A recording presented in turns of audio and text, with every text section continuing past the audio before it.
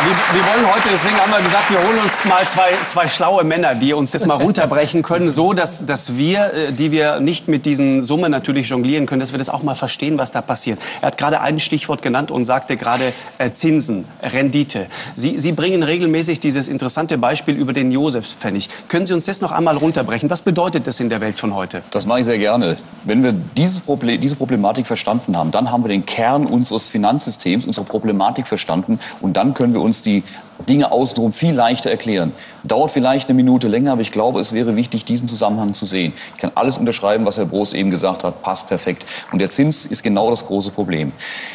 Alles Geld, was wir im Umlauf haben, ist Schuld. Geld entsteht in unserem System, indem jemand einen Kredit aufnimmt. Nur so entsteht Geld. Das mhm. bedeutet, allem Geld steht ein Kredit gegenüber und umgekehrt. Wenn Amerika 14 Billionen US-Dollar Schulden hat, der Staat, dann hat irgendjemand anders 14 Billionen Guthaben. Wenn Deutschland 42 Milliarden Zinsen jedes Jahr zahlt, bekommt irgendjemand anders 42 Milliarden Zinsen gutgeschrieben. Jetzt könnte man sagen, dann ist doch alles prima, weil das gleicht sich ja aus. Mhm. Wir haben in Deutschland zwei Billionen Dollar, äh, sorry, zwei Billionen Euro Schulden des Staates, offiziell. Mhm. Und wir haben fünf Billionen Euro Geldvermögen der privaten Haushalte. So weit, so gut. Könnte man sagen, alles klasse. Läuft. Aber ja. das perfid an unserem System ist, dass sich dieses Geld im Laufe der Jahrzehnte bei ganz wenigen Menschen zusammenballt und die Masse der Menschen davon gar nichts hat. Von diesen 5 Billionen hat die Hälfte der Bundesdeutschen gar nichts. Null, unter 4 Prozent. Ja. Und die reichsten 10 Prozent mhm. haben den allergrößten Teil. Aber die Bürger, die Masse der Menschen muss diese Zinsen erwirtschaften, erarbeiten. Mhm. So wie Herr Broster sagt, in der Fabrik, in, im Job. Warum? Die eigenen Zinsen fürs eigene Geld, für die eigenen Schulden, die zahlt man sowieso, ist klar. Die des Staates, ja, der Staat hat in ihrem Namen ja jede Menge Geld aufgenommen. Für das bürgen sie, deshalb sind sie die Bürger. Und als. und als. und als und als Bürger müssen sie nicht nur bürgen, sie müssen auch diese Zinsen jedes Jahr bezahlen über ihre Steuern. Und die Zinsen des Unternehmens, wenn der Herr Prost Geld aufnimmt, für, um Fabriken zu bauen, um was zu produzieren, und er muss einen Kredit aufnehmen, ja, die Zinsen werden natürlich auf das Produkt umgerechnet. Also beim Einkauf zahlen sie die Zinsen der Industrie das mit. Wir zahlen immer mit? Für den Bürger spielt es gar keine Rolle, wo im System die Zinsen und die Schulden liegen. Er zahlt es immer.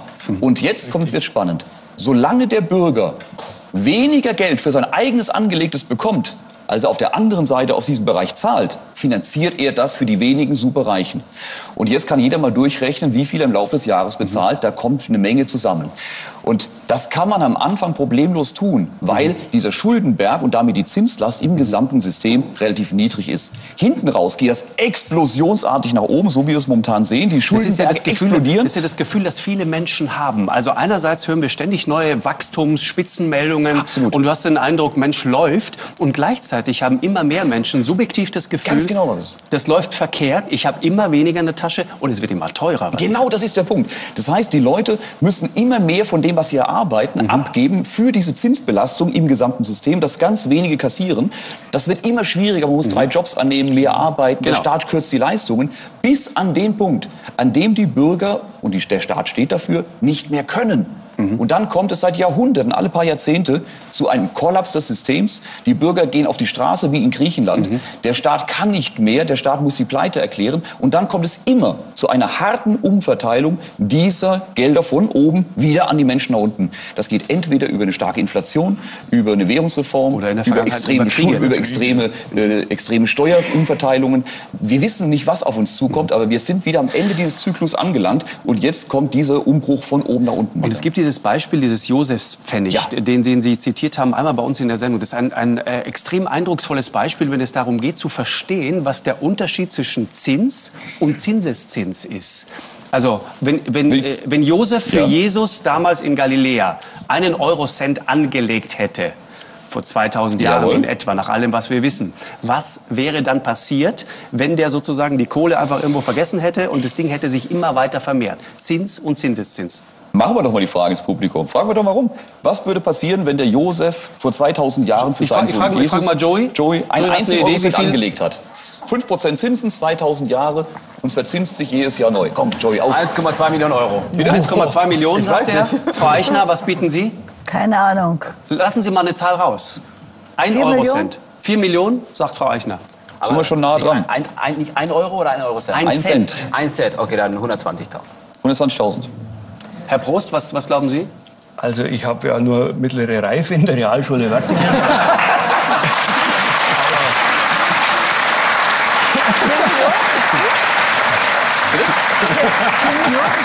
Wir, wir haben ja damals noch die Exponentialrechnung gelernt. Ja, genau. Sehr Und gut. da geht es natürlich richtig ab.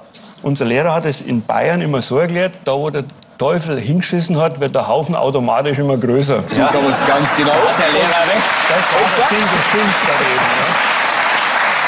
Müller, wie viel ist es? Also, mit 120.000 Euro waren wir knapp dran. 195 Millionen Weltkugeln aus purem Gold. Nach den aktuellen Kursen. die gesamte 195 Millionen Weltkugeln aus purem Gold.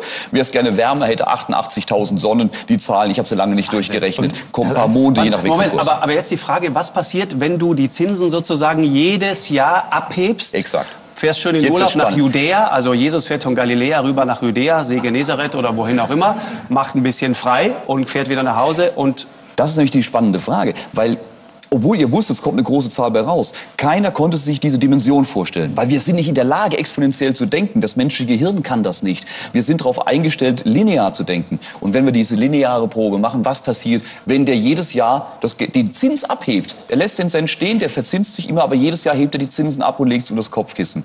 Was kommt dann raus? 2000 Jahre später. 2000 Jahre später. Joey, Tipp? Ein einziger Euro. Nur ein Euro. Ein Nur Euro. ein Euro, ja. Der Unterschied zwischen Zins und Zinseszins ist 1 Euro zu 195 Millionen Weltkugeln aus Gold auf 2000 Jahre. Und Und, das- das, wenn man das verstanden hat, dann weiß man das Grundproblem unseres Wirtschaftssystems, warum das gar nicht unendlich funktionieren kann. Es muss immer wieder kollabieren oder zumindest ausgeglichen werden. So,